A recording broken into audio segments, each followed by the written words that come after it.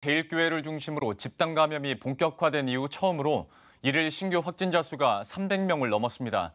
이번 주말이 대확산을 결정짓는 최대 분수령이 될 것으로 보이는데요. 방역 당국은 이번 주말 이후에도 확산세가 지속되면 사회적 거리두기 3단계 격상을 검토해야 한다고 밝혔습니다. 박미라 기자의 보도입니다. 어제 하루 신규 확진자는 모두 324명입니다. 이 중 국내에서만 확인된 확진자만 315명입니다. 하루 확진자 수가 300명대를 기록한 건 사랑제일교회를 중심으로 코로나19 확산세가 본격화된 이후 처음입니다. 집단 감염의 발원지인 사랑제일교회 관련 확진자 수는 꾸준히 증가하고 있습니다. 오늘 낮 12시 기준 사랑제일교회 관련 누적 확진자 수는 732명입니다.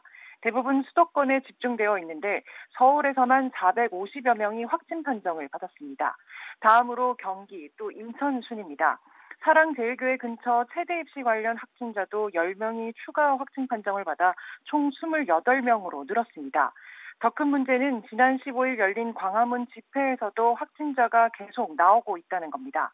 방역당국은 집회가 전국 확산의 기폭제로 작용하고 있다고 판단하고 있습니다. 현재까지 확인된 집회 관련 확진자는 71명입니다. 집회 참가자 중 8,500여 명이 진단 검사를 받았습니다. 아직 모두 결과가 나온 것은 아니기 때문에 확진자는 앞으로 더 나올 것으로 보입니다. 상황이 점차 심각해지자 사회적 거리두기 3단계로 올리는 방안을 검토해야 한다는 목소리가 나오고 있습니다. 정은경 질병 관리본부장은 오늘 정례 브리핑에서 이번 주말 이후에도 확산세가 유지된다고 하면 3단계 격상도 검토해야 한다고 말했습니다. 머니투데이 방송 박미라입니다.